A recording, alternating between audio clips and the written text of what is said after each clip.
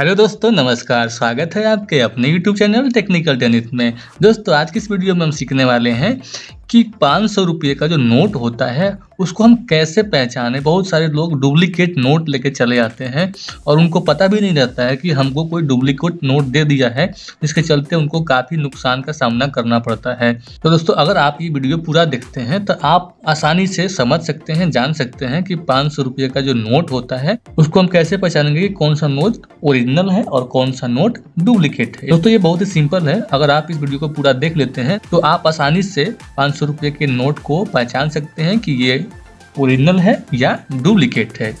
तो दोस्तों, चलिए वीडियो को शुरू करते हैं। दोस्तों, वीडियो शुरू करने से पहले छोटा सा रिक्वेस्ट है कि अगर आप मेरे चैनल पर नए हैं तो कृपया चैनल को सब्सक्राइब ज़रूर कर लें और बेल आइकन को दबाना बिल्कुल भी ना भूलें।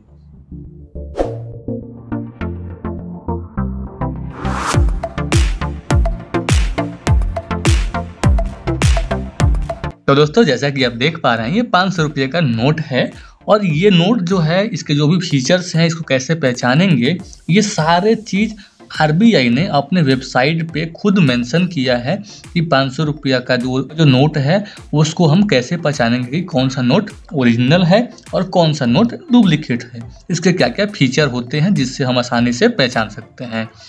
तो दोस्तों, इसमें जो पहला फीचर है, आप यहाँ पे देख सकते हैं कि एक नंबर में यहाँ पे मेंशन किया गया है कि यहाँ पे दोस्तों पाँच सौ रुपया लिखा रहता है। यहाँ पे जब आप देख रहे हैं, यहाँ पे पाँच सौ रुपया लिखा रहता है। जब आप इसको थोड़ा गौर से देखेंगे तो आपको यहाँ पे पाँच सौ रुपया लिखा हुआ दिख जाएगा।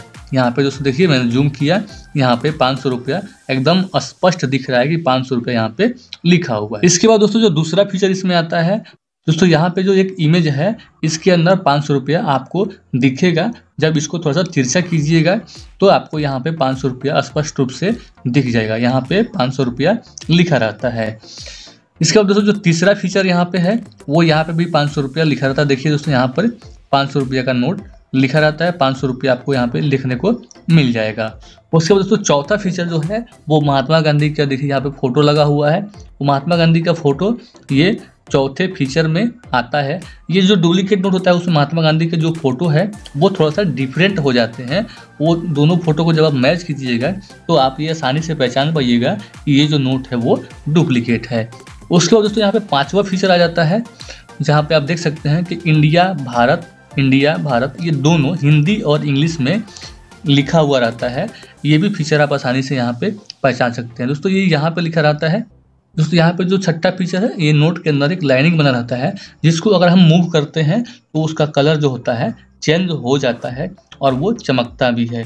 पर वहीं अगर ये नोट डुप्लीकेट नोट होगा तो उसका कलर चेंज नहीं होगा, वो एक ही कलर का रहता है। जैसा कि आप यहाँ पे देख सकते हैं, इसका कलर चेंज हो रहा है। इसको मूव करने के बाद, इसको हिलाने डुलाने पे इसका कलर जो होता है, वो चेंज हो जाता है।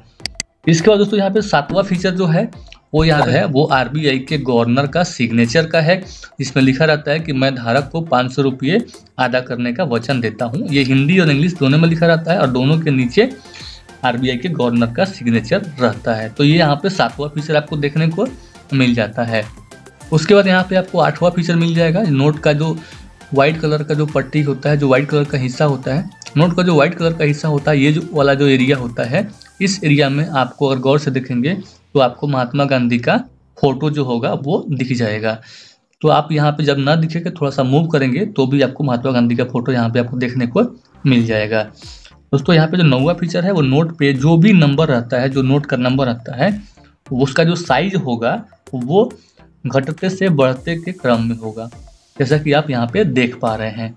उसके बाद दोस्तों दसवा नंबर जो फीचर है वो यहाँ पे पाँच सौ रुपया लिखा रहता है। और ये जब हम इसको मूव करते हैं थोड़ा सा हिलाटे डुलाते हैं तो इसका जो कलर होता है वो चेंज हो जाता है। ग्यारहवें फीचर में यहाँ पे आपको अशोक स्तंभ और नीचे सत्यमेव जयते देख, देखने को मिल जाता है जहाँ पे आप आसानी से देख करके पहचान सकते हैं कि ये नोट डुप्लीकेट है या ओरिजिनल है। उसके बाद अगला जो फीचर है यहाँ पे आप देख सकते हैं यहाँ पर भी पर भी पाँच सौ रुपये का नोट मेंशन किया जाता है 500 अमाउंट लिखा रहता है।